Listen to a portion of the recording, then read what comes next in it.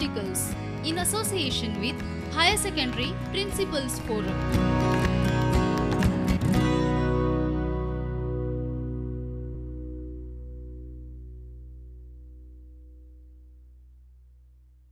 नमस्ते बच्चों मैं अशोक नाइक शांतादुर्गा उच्च माध्यमिक विद्यालय में अध्यापन का कार्य करता हूँ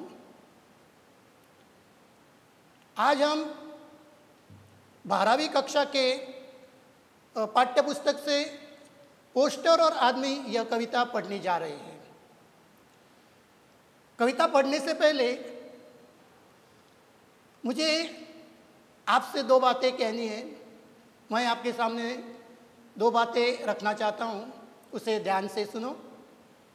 सच तो यह है कि आज के आपाधापी जीवन में सब लोग अपने तरीके से जीवन जीने के लिए दौड़ लगाते हैं।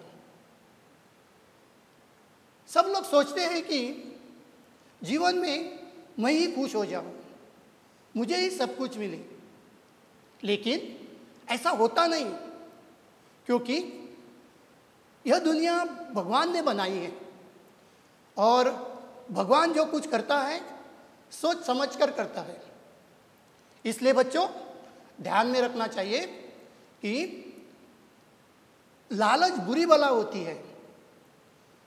हम सबको ईमानदारी से काम करना है। अच्छी शिक्षा पाकर, आगे जाकर सबको मदद करनी चाहिए। खास तौर पर उपेक्षित लोगों को। उपेक्षित का मतलब जो निगलेक्टेड समाज है, आम आदमी है गरीब लोग हैं, ऐसे लोगों को मदद करनी चाहिए। जब ऐसे लोगों को मदद करेंगे, यह काम पुण्य का काम होता है। और ऐसा काम करना गर्व की बात होती है। दूसरों की मदद करने वाले लोग बहुत कम मिलते हैं आज के ज़माने में। ऐसे ही एक इंसान जो है, महान कवि कवि सर्वेश्वर, दयाल सक्सेना, इनको आज हम पढ़ेंगे। एक समाज सेवी एक कवि खास तौर पर जब भी इस कवि का नाम लिया जाता है, हिंदी जगत में इनका नाम आदरता से लिया जाता है। आज हम उनकी कविता पढ़ेंगे, पोस्टर और आदमी, और उनके बारे में भी जानेंगे।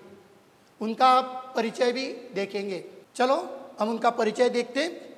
कवि सर्वेश्वर दयाल सक्सेना 15 सितंबर 1927 से 23 सितंबर उन्नीस सौ तिरासी। इनका जीवन कार्यकाल रहा। कवि के बारे में इन संक्षेप कुछ बातें ज़रूर बतानी चाहिए बच्चों। कवि सर्वेश्वर दयाल सक्सेना प्रगतिशील और आस्था और लोहियावादी विचारों के प्रतिनिधि हैं। सर्वेश्वर दयाल सक्सेना समाज सच्चाई और आम इंसान के बारे में सोचने वाले और उनके अवस्था के ऊपर रचना लिखने वाले कवि हैं। उनकी एक खूबी है कि वे खुद को न तो समाज से काट कर देखते हैं और न तो खुद से काट कर समाज को। इसका मतलब क्या है कि वो समाज से जुड़े हुए हैं। समाज से एक है। समाज से अलग नहीं होना चाहते। वो समाज के लिए कुछ करना चाहता है और समाज उनके लिए। ऐसी स्थिति कवि की है और यही उसकी बड़ी खूबी है। गरीबों की, खासतौर पर गरीबों की बात हमेशा वो अपने साहित्य में लिखता है।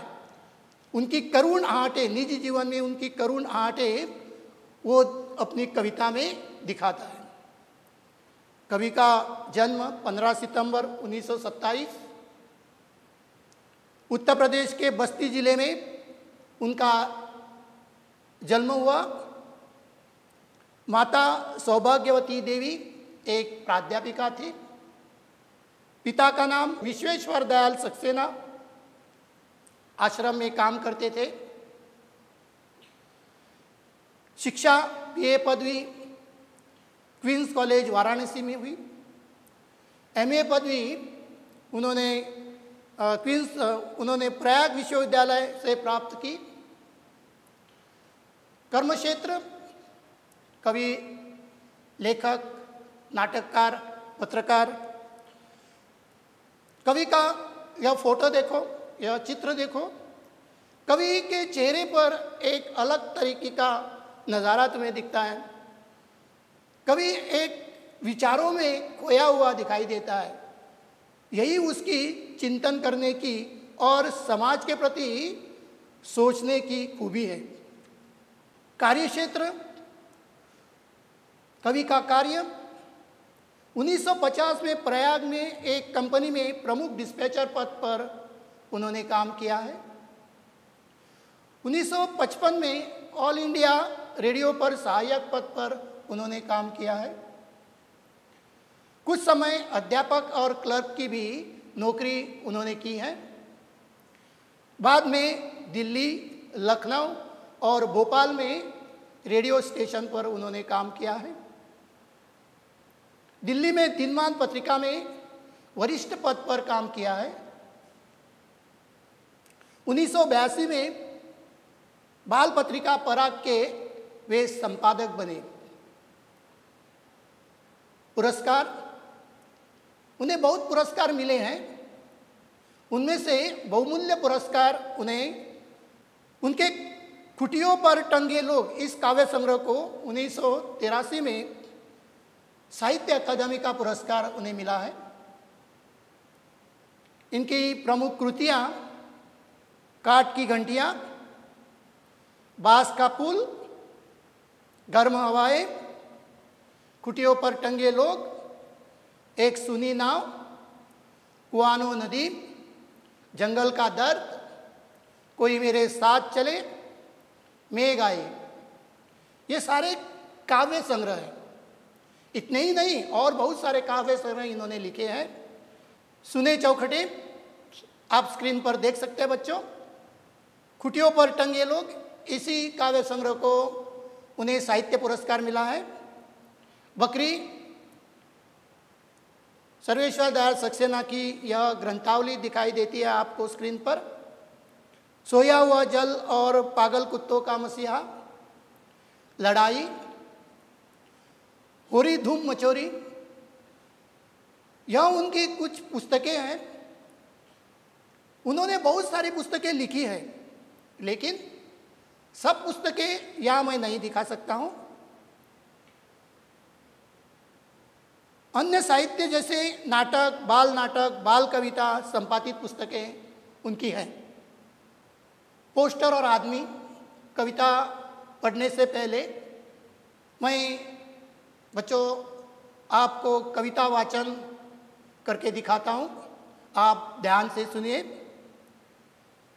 मैं अपने को नन्ना सा दबा हुआ, विशाल काय बड़े बड़े पोस्टरों के अनुपात में खड़ा देख रहा हूँ।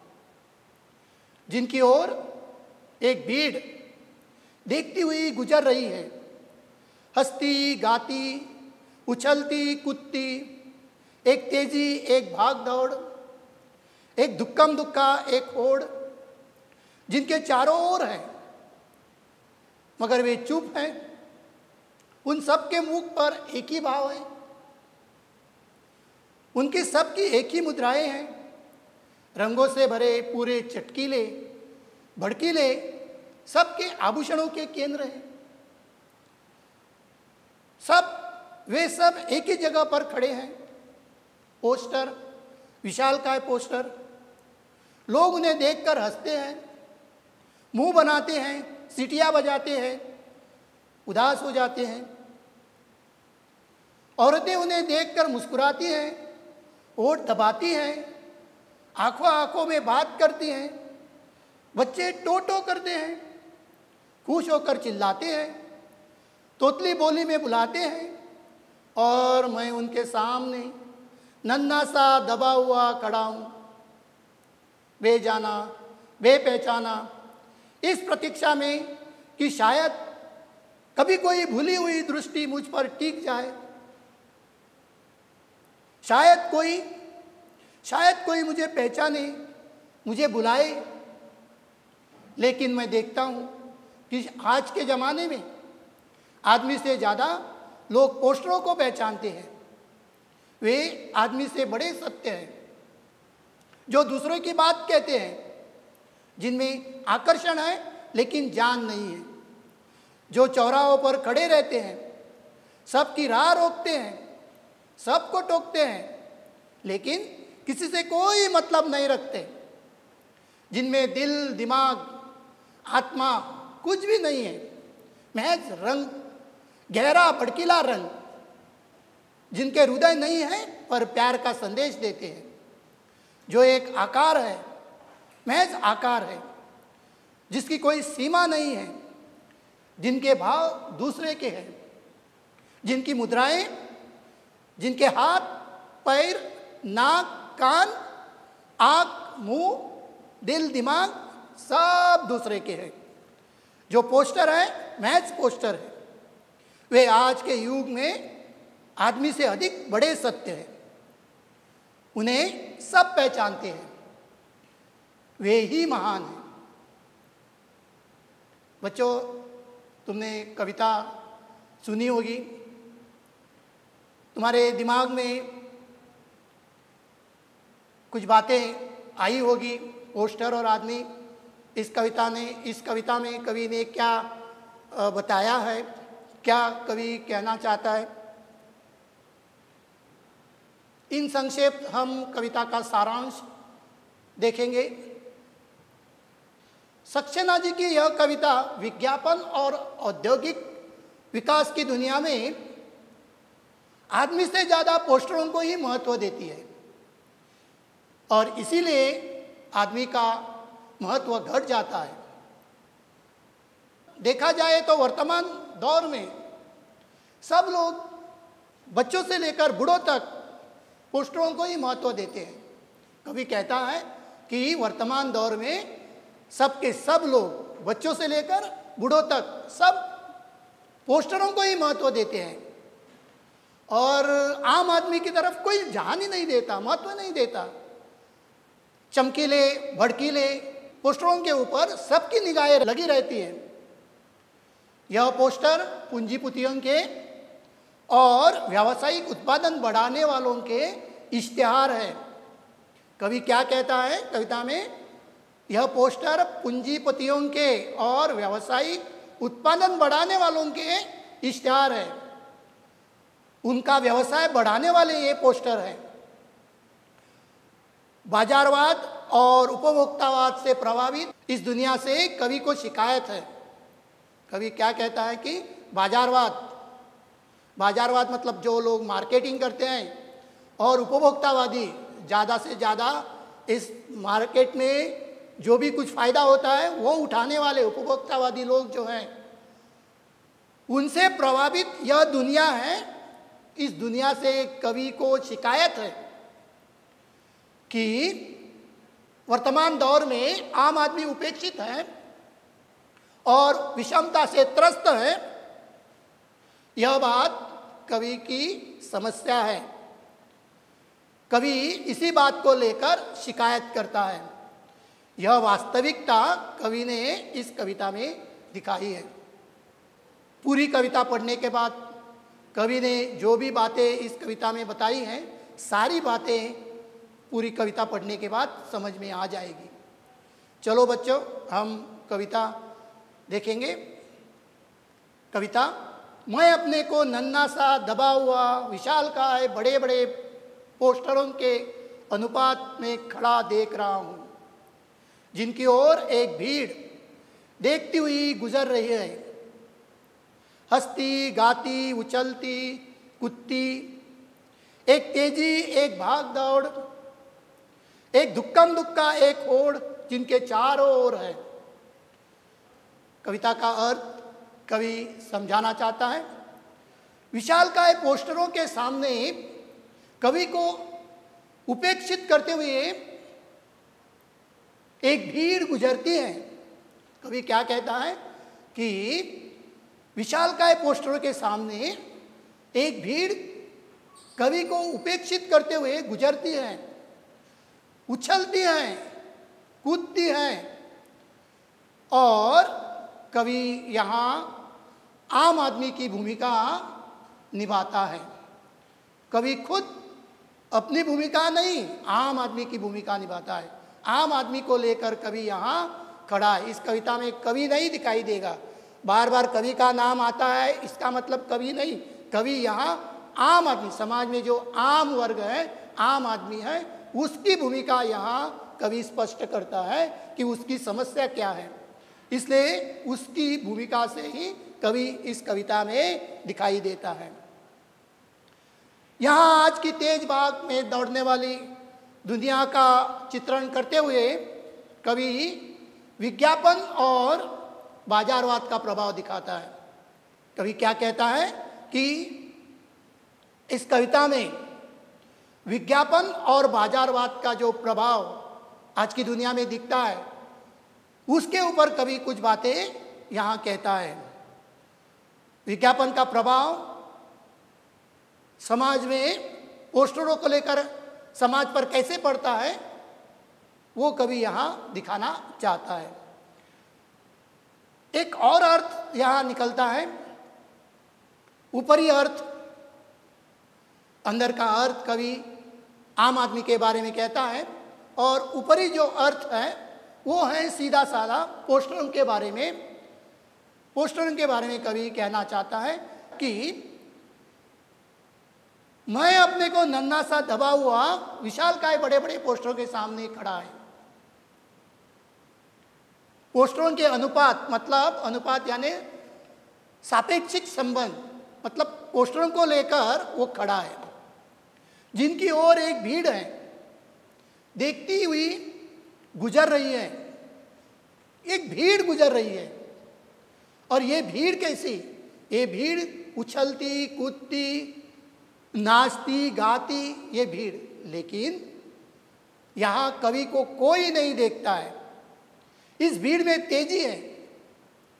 इस भीड़ में क्या है? तेज़ी है, जल्दी जल्दी है। जहाँ से ये भीड़ गुजरती है, इनकी दौड़ क्या है? जैसे भी ये दौड़ती है, एक धक्कम दुक्का एक होड़ जिनके चारों ओर है। कवि यहाँ कुछ बातें स्पष्ट करता है कि सब लोग पोस्टरों को ही महत्व देते हैं। यहाँ कुछ पोस्टर्स दिखाई देते हैं। आगे जाएँगे। सब लोग पोस्टरों को देख के आगे जाते हैं, लेकिन ये सारे पोस्टर चुप है। मगर वे चुप है। उन सब के मुख पर एक ही भाव है। उनकी सबकी एक ही मुद्राएँ हैं। रंगों से भरे, पूरे चटकीले बड़कीले सबके आभूषण के केंद्र हैं। वे सब एक ही जगह पर खड़े हैं। पोस्टर, विशाल का है पोस्टर, लोग उन्हें देखकर हँसते हैं, मुँह बनाते हैं, सीटियाँ बजाते हैं, उदास हो जाते हैं। कवि यहाँ पोस्टरों के बारे में क्या कहता है देखो, सब पोस्टरों की दशा एक ही है। उनकी अवस्था भी एक ही है। लेकिन यह पोस्टर चटकीले, भड़कीले रंगों के कारण लोगों के आकर्षण के केंद्र बने हुए हैं। लेकिन यह पोस्टर कवि कहता है, ये पोस्टर निर्जीव है, इनमें जान नहीं है। और इसीलिए जान न होते हुए भी जिसमें जान है, वो लोग सब पोस्टरों के पीछे भागते हैं। यही करुण स्थिति है। कवि कहता है कि यही करुण स्थिति है। कवि खड़ा है पोस्टरों के अनुपात में, लेकिन उसे कोई नहीं देखता है। ये रंग ये पोस्टर जो है, रंगों से भरे पूरे चटकीले, भड़कीले, ज़्यादा रंग भरा है इस पोस्टर पोस्टरों में। ज़्यादा चमकीले है ये पोस्टर, और इसीलिए सब लोग इन पोस्टरों को देखते हैं। ये जो पोस्टर सब लोग देखते हैं, उनके पीछे भागते हैं, उनको पसंद आते हैं, नाचते हैं, गाते हैं, कूदते हैं, ये सब करते हैं इन पोस्टरों के पीछे जाकर। इन पोस्टरों को देखते देखते कवि कहता है कि ये पोस्टर उनके आभूषणों के केंद्र बने हुए हैं। आभूषणों के केंद्र मतलब सेंटर ऑफ़ अट्रैक्शन अंग्रेज़ी में कहा जाता है। यहाँ आभूषण का मतलब क्या है? यहाँ आभूषण का मतलब गहने हैं ऑर्नामेंट है, जेवर है। लेकिन यहाँ तो कोई जेवर नहीं है। यहाँ पोस्टरों का आभूषण मतलब पोस्टरों के गहरे रंग, उनकी, उनके जो रंग पोस्टर में भरे हुए हैं, उनके कारण ये पोस्टर आकर्षित होते हैं, आकर्षक होते हैं। ये पोस्टर आकर्षक होते हैं और इसी कारण कवि कहता है कि ये आभूषण के केंद्र है। ये पोस्टर जो है, आभूषण के केंद्र है। ये सब पोस्टर एक ही जगह पर खड़े हैं। मज़े की बात यह है कि ये पोस्टर एक ही जगह पर खड़े हैं। और लोग उन्हें देखकर हँसते हैं, मुँह बनाते हैं, सीटियाँ बजाते हैं। कहने की ये बात है, पोस्टर एक ही जगह है लेकिन अलग अलग जगह से लोग आते हैं और पोस्टरों को देखकर सीटियाँ बजाते हैं। कुछ लोग सीटियाँ बजाते हैं, कुछ लोग मुँह बनाते हैं। यहाँ मुँह बनाना मतलब किसी को पसंद नहीं आया होगा ये पोस्टर। मुँह लटकाते हैं, मुँह बन, मुँह मुँह बनाना मतलब मुँह लटकाना, असंतोष व्यक्त करना, क्योंकि शायद ये पोस्टर किसी को अच्छे नहीं लगे। तो जिनको ये पोस्टर अच्छा नहीं लगा, वे लोग मुँह बनाते हैं। कुछ लोग उदास हो जाते हैं। पोस्टरों को लेकर कुछ लोग उदास हो जाते हैं। मतलब किसी को वही बात कि पोस्टर देखे नहीं जाते या उनको पसंद नहीं आते। और इसीलिए कवि पोस्टरों की बात लोगों को किस तरह पसंद आती है? लेकिन यहाँ भी आम आदमी के ऊपर कोई ध्यान नहीं देता है। आम आदमी की समस्या के ऊपर कोई ध्यान नहीं देता है। यह बात कवि अपने कविता में स्पष्ट करना चाहता है। आगे देखेंगे, यह पोस्टर देखो, कितने बड़े चमकीले रंगीले पोस्टर हैं। ऊँची ऊँची दीवारों के ऊँची ऊँची इमारतों के इमारतों के सामने खड़े हैं ये पोस्टर। अलग अलग किस्म के पोस्टर हैं। खचाखच भरे हुए ये पोस्टर है। रास्ते के दोनों बाजू में ये पोस्टर दिखाई देते हैं। आगे देखेंगे कविता। औरतें उन्हें देखकर मुस्कुराती है। वोट दबाती है। आँखों आँखों में बात करती है। बच्चे टोटो करते हैं। खुश होकर चिल्लाते हैं। तोतली बोली में बुलाते हैं। और मैं उनके सामने नन्ना सा दबा हुआ खड़ा हूँ। बेजाना, बेपहचाना। इस प्रतीक्षा में कि शायद कभी कोई भूली हुई दृष्टि मुझ पर टीक जाए। शायद कोई मुझे आवाज़ दे, शायद किसी की सुनी निगाह मुझे देखकर शोक हो जाए। शायद शायद कोई मुझे पहचाने, मुझे बुलाए। यहाँ कभी कहना चाहता है कि यह पोस्टर विज्ञापनों की सभी बातों को व्यक्त करता है। ये जो सारी बातें यहाँ बताई है कविता में, वो क्या व्यक्त करती है? विज्ञापनों की सारी बातें, सभी बातें व्यक्त करता है। और इसीलिए इन पोस्टरों को देखकर औरतें मुस्कुराती हैं, होठ दबाती है और इतना ही नहीं, औरतें आँखों आँखों में बात करती है। आँखों आँखों में बात करना, मुस्कुराना, इसका मतलब क्या है? और इतना ही नहीं, बच्चे भी खुश होकर तोतली बोली, बोलते हैं। यह पोस्टर अभिव्यक्ति के माध्यम बनते जा रहे हैं, जिनके सामने व्यक्ति नन्ना सा बेजाना, बेपहचाना है। यह सब देखकर आदमी इस प्रतीक्षा में खड़ा है कि शायद इस चकाचौन भरी दुनिया में किसी की भूल कर भी एक दृष्टि उस पर आ पड़े। वह चाहता है, वह यानी आम इंसान चाहता है कि कोई उसे देखे, आवाज़ दे, उसे पुकारे, उसकी बात सुने, लेकिन ऐसा कुछ भी नहीं होता है। आम आदमी के ऊपर कोई ध्यान नहीं देता है। इसलिए आम इंसान दुखी है यह बात कवि पढ़ने वालों के सामने रखता है। फिर एक बार अलग अर्थ थोड़ा सा इधर दिखाई देता है। बच्चों की खुशी औरतों का मुस्कुराना और उनका आँखों आँखों में बात करना बच्चों को टो बच, बच्चे टोटो करना ये सारी बातें क्या है? पोस्टरों को देखने के बाद औरतें खुश हो जाती है। उनकी बात उसमें दिखाई देती है उन्हें। वे होठ भी दबाती है। आँखों आँखों में बात करती है। औरतें जो मुँह से बात बताने को नहीं मिलती है, एक दूसरे को देखकर आँखों आँखों से बात करती है। मतलब पोस्टरों में उसने उसके लिए कुछ देखा होगा, लेकिन वो बोल नहीं सकती। इसलिए एक दूसरे से आँखों आँखों से बात करती है। बच्चों की तो अलग ही बात है। बच्चों की तो अलग ही बात है और बच्चे क्या करते हैं? कुछ भी दिखाई दिया तो बच्चे खुश हो जाते हैं, आवाज़ करते हैं टोटो करते हैं, चिल्लाते हैं। तोतली बोली में बोलते हैं। ये तोतली बोली क्या होती है? बचपन की बोली होती है बच्चों की। किसी की भी बचपन की बोली। कुछ बच्चे छोटे होंगे, इसलिए तोतली बोली बोलते हैं। बड़े होकर भी कुछ बच्चे ऐसी ही तोतली बोली बोलते हैं। तो यह सब कुछ होता है पोस्टरों को देखकर। और लेखक क्या कहता है कि, और मैं उनके सामने, लेखक कह सॉरी एमा से कट करा, लेखक मुटलाते यह कवि कहता है कि मैं उनके सामने नन्ना सा दबा हुआ खड़ा हूँ। बेजाना, बेपहचाना। मुझे कोई नहीं देखता। सब पोस्टरों को ही देखते हैं। और मैं बेजाना, बेपहचाना। मुझे कोई पहचानते नहीं है। मुझे कोई जानते नहीं है। मैं इस प्रतीक्षा में कि शायद कभी कोई भूली हुई दृष्टि मुझ पर टिक जाए।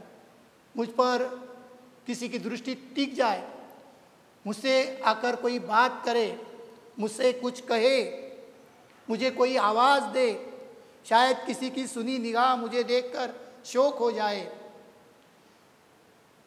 जिसका मन खोया हुआ है, जिसका मन कवि को, कवि के ऊपर नहीं है, कवि कहता भी, कहता है कि उसकी निगाहें मुझ पर आकर टिके, लेकिन ऐसा कुछ भी नहीं होता है। बच्चों, ऐसा कुछ भी नहीं होता है, कवि को कोई नहीं देखता है। शायद शायद कोई मुझे पहचाने, मुझे बुलाए, कवि को आशा है। आज के ज़माने में, इस आपाधापी युग में मुझे कोई पहचाने, मुझे कोई देखे, लेकिन उसे कोई नहीं देखता है। आगे जाएँगे, कुछ पोस्टर्स मैं तुम्हें यहाँ स्क्रीन पर दिखाऊँगा। देखो, कुछ पोस्टर्स यहाँ है। देखो पोस्टरों में कैसे चित्र, भड़कीले चित्र, रंगीले चित्र दिखाई देते हैं और लोग कैसे इन पोस्टरों को देखते हैं, देखो। चलते चलते लोग इन पोस्टरों को देखते हैं मतलब कितना महत्व है इस पोस्टरों को। देखो, यह पोस्टर देखो।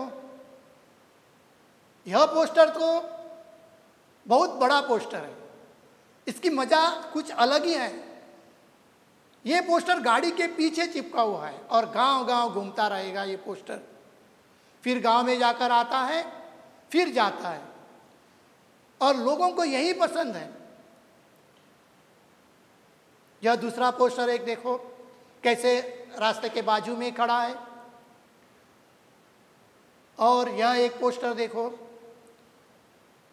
कितनी शान से यह पोस्टर देखो, रास्ते के बाजू में खड़ा है। यह पोस्टर सबको अच्छे लगते हैं और इसीलिए कवि कहता है कि पोस्टरों को ज़्यादा महत्व देते हैं लोग, लेकिन आम इंसान की तरफ़ कोई आँख उठाकर भी नहीं देखते हैं। इसी समस्या को कवि पाठकों के सामने व्यक्त करना चाहता है, पढ़ने वालों के सामने रखना चाहता है। समाज के सामने रखना चाहता है ताकि इन पर कोई आवाज़ उठाए, इन पर कोई आवाज़ उठाए। लेकिन मैं देखता हूँ कि आज के ज़माने में आदमी से ज़्यादा लोग पोस्टरों को पहचानते हैं। वे आदमी से बड़े सत्य हैं, जो दूसरे की बात कहते हैं।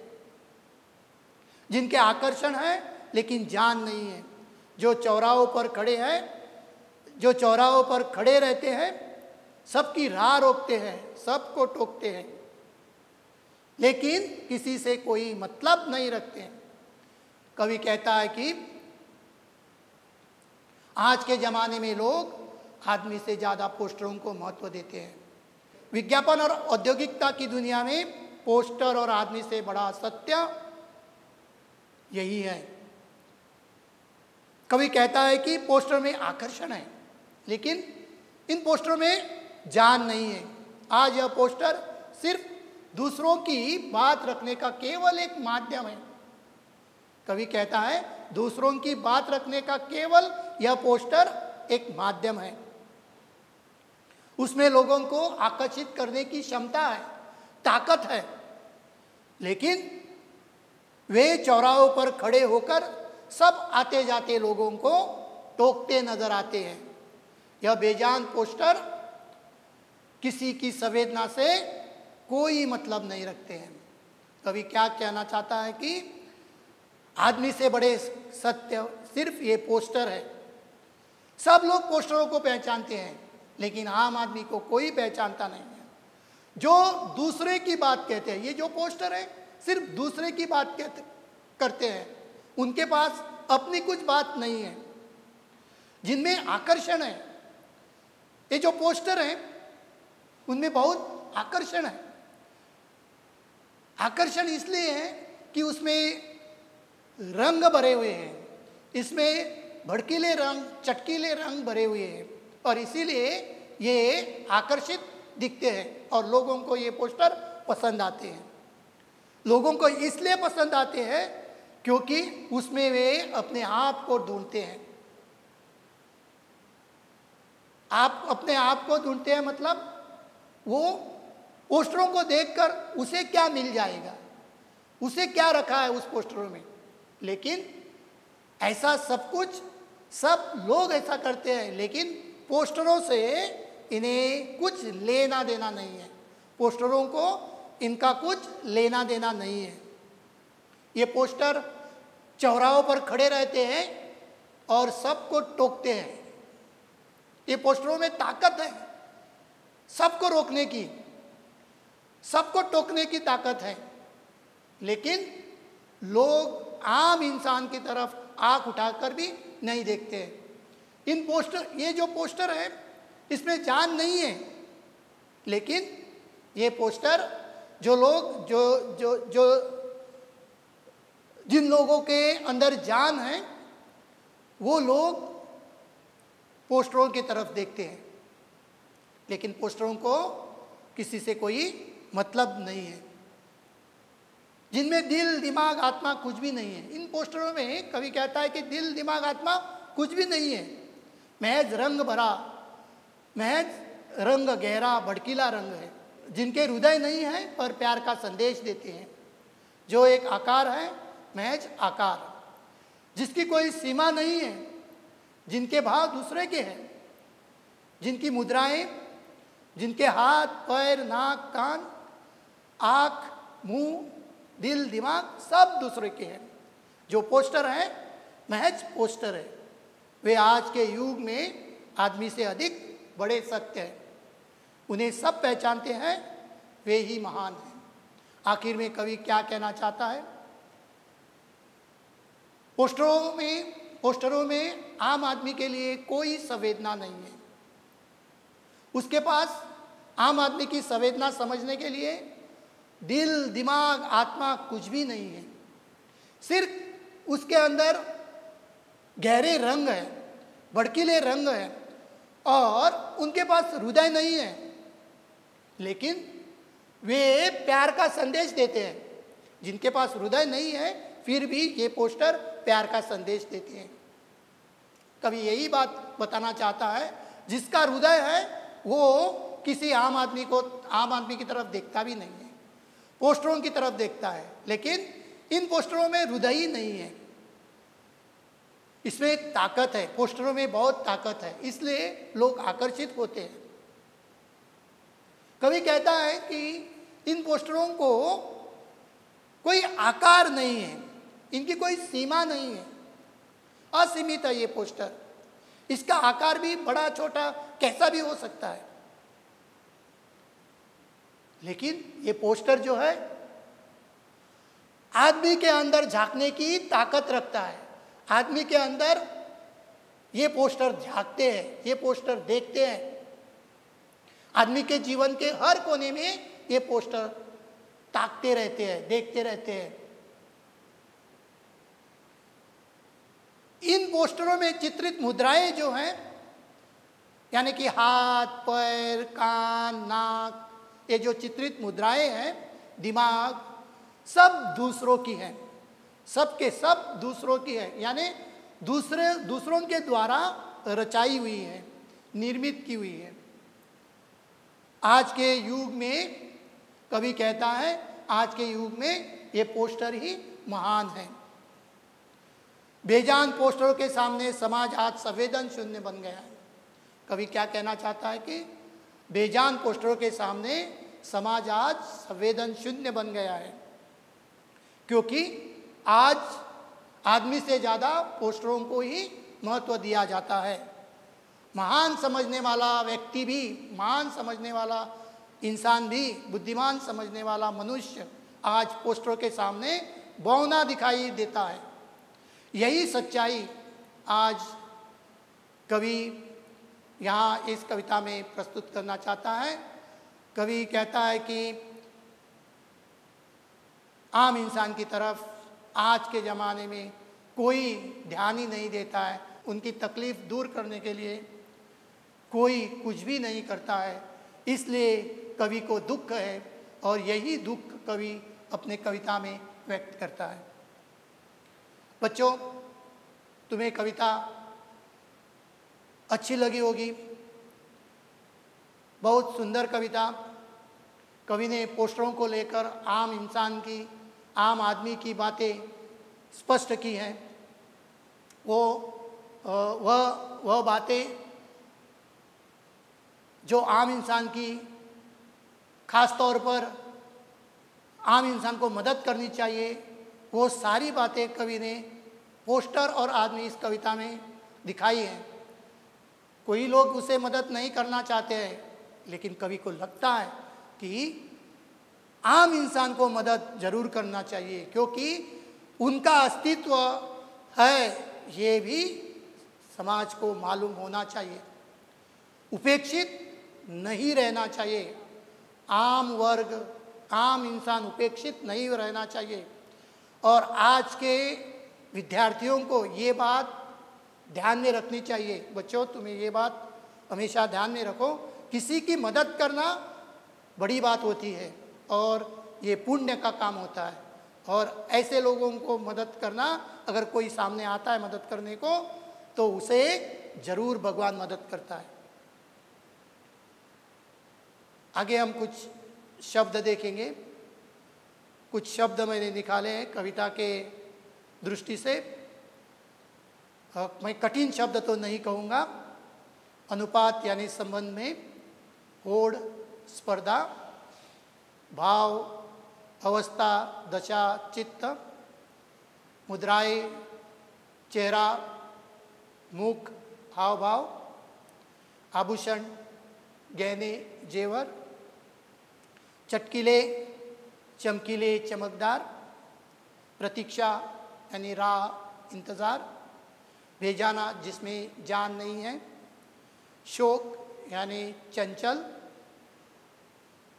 शरारती, आकर्षण यानी किंचाव चुंबकनीय, महज महज यानी सिर्फ़, कुछ शब्द, तुम्हें ये शब्द पढ़ने हैं, ध्यान में रखने हैं। आगे कुछ अभ्यास के लिए प्रश्न दिए हैं। निम्नलिखित पद्य अवतरणों की सप्रसंग व्याख्या कीजिए। मैंने दो दिए हैं। एक, वे आदमी से बड़े सत्य हैं, लेकिन किसी से मतलब नहीं रखते। दूसरा, वे आज के युग में टिम्ब टिम्ब वे ही महान हैं। ये संदर्भ सहित स्पष्टीकरण यानी सप्रसंग व्याख्या करनी है। निम्नलिखित प्रश्नों के उत्तर 20 25 20 से 25 शब्दों में लिखिए। यहाँ दो प्रश्न मैंने दिए हैं अभ्यास के लिए। आज के पोस्टर आदमी से बड़े सत्य है। कवि ऐसा क्यों अनुभव करता है? एक। और दूसरा, पोस्टर और आदमी कविता कविता के व्यंग को स्पष्ट कीजिए। बच्चों, यह प्रश्न अभ्यास के लिए है। परीक्षा के लिए यह प्रश्न तैयार करने हैं। आखिर में मेरी कविता यहाँ ख़त्म हुई है। मुझे लगता है कि सबको यह कविता पसंद आई होगी। धन्यवाद। Prudent Scholars, powered by Lupin Pharmaceuticals. अब आपकी सुरक्षा आपके हाथों में। ल्यूपी सेफ़ हैंड सैनिटाइजर आपका और चेन्नई सुपर किंग्स का फ़र्स्ट लाइन ऑफ़ डिफेंस अब आपकी सुरक्षा आपके हाथों में। ल्यूपी सेफ़ हैंड सैनिटाइजर आपका और चेन्नई सुपर किंग्स का फ़र्स्ट लाइन ऑफ़ डिफेंस अब आपकी सुरक्षा आपके हाथों में। ल्यूपी सेफ़ हैंड सैनिटाइजर आपका और चेन्नई सुपर किंग्स का फ़र्स्ट लाइन ऑफ़ डिफेंस